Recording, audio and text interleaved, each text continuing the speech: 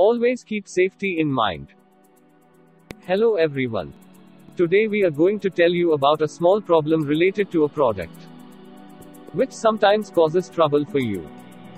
But first, we inform you that it should not work without the technical knowledge of the elevator. And now, taking less time, we are going to tell you about important information. Often you must have noticed that your elevator lights and fans go off. Now, look here, you don't have to worry. First, you call your lift contractor's toll free number.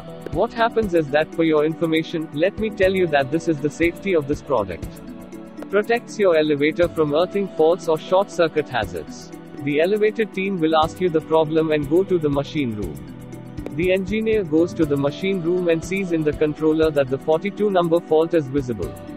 The engineer is aware that this problem is related to a single phase, which is due to single phase short circuit or earth leakage. Now he will first find out the problem related to single phase and earth leakage. He will then proper off onto the single phase MCB in the controller.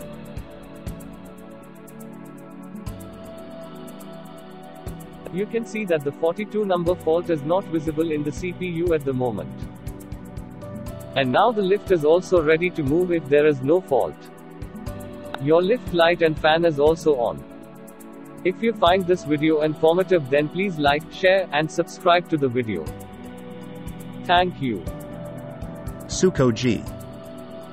Dedicated all elevator needs.